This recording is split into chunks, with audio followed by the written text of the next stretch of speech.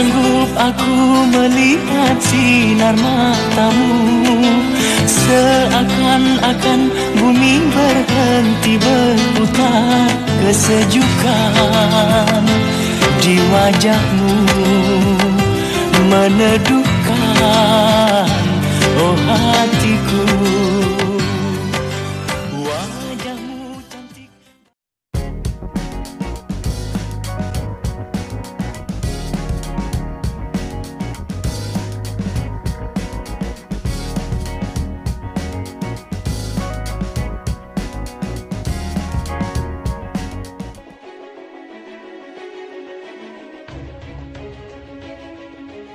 Hai fans Leslar, kembali lagi di channel Saiful Bahri Design, yang terus memberikan info Lesti dan Rizky Bilar, hanya di channel ini yang selalu memberikan info terbaru, terpercaya dan terpopuler.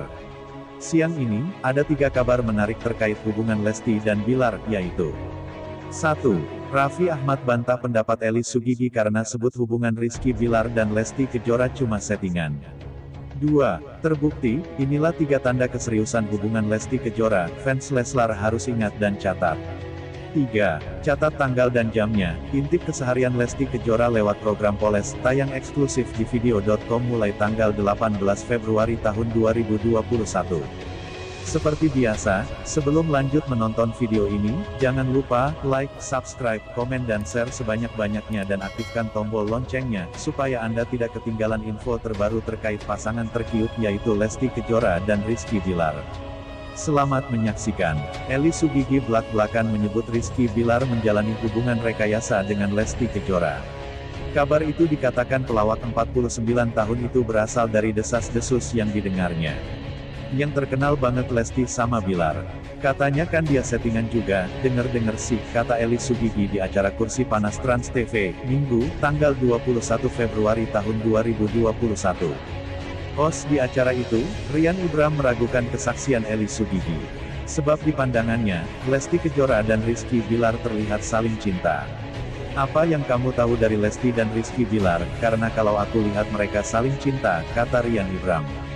Eli Sugigi menjelaskan, hubungan itu awalnya direkayasa. Tapi lama-kelamaan timbul perasaan cinta pada dua artis ini. Ya dari situ jadi baper dan akhirnya beneran.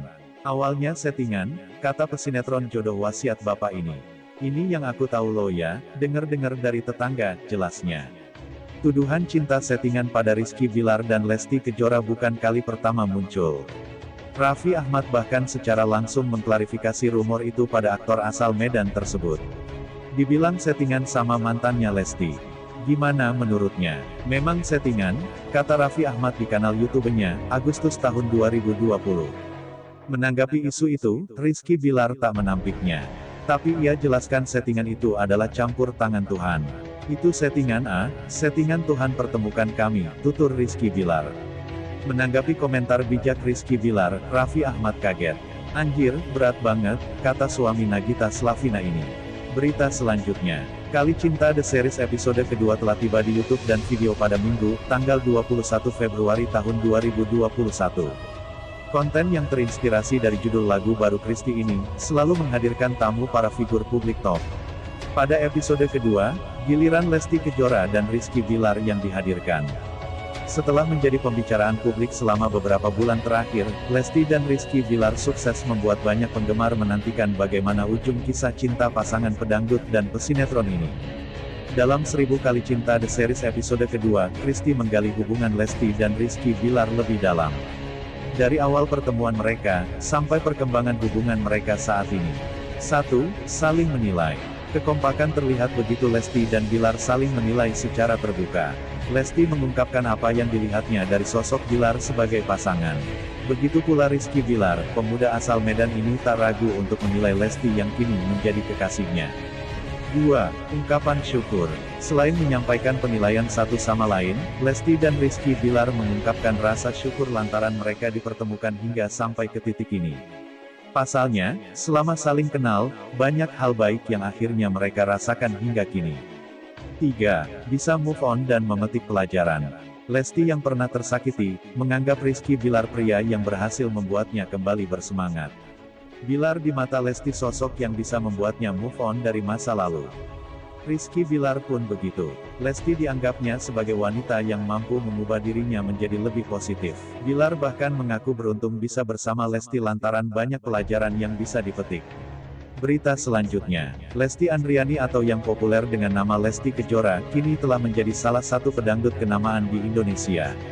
Perjalanan kariernya bermula dari ajang pencarian bakat dangdut Akademi Indosiar musim pertama pada 2014 silam. Tak dapat dipungkiri, suara emas Lesti Kejora berhasil membius para penggemar dangdut. Namun, bukan hanya soal karya, kehidupan personal Lesti Kejora juga kerap jadi sorotan.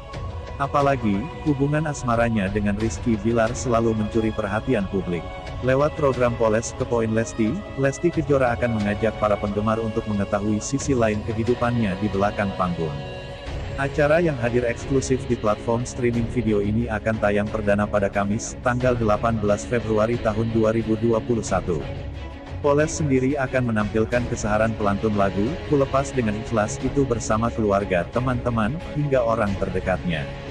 Nantinya, program ini akan hadir setiap Senin dan Kamis pukul 17 waktu Indonesia Barat. Episode perdana. Dalam cuplikan trailer yang diunggah di platform video, episode perdana Poles Kamis, tanggal 18 Februari tahun 2021, menampilkan Lesti Kejora yang sedang mengisi sebuah resepsi pernikahan di momen Valentine pada tanggal 14 Februari lalu. Lesti terlihat anggun dengan balutan gaun dan hijab berwarna emas. Penasaran seperti apa persiapan Lesti sebelum tampil di acara tersebut? Yuk, saksikan live streaming Poles eksklusif hanya di platform video.com.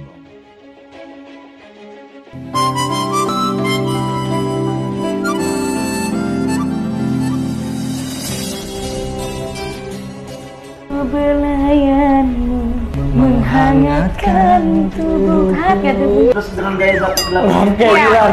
Terus aja, Lar.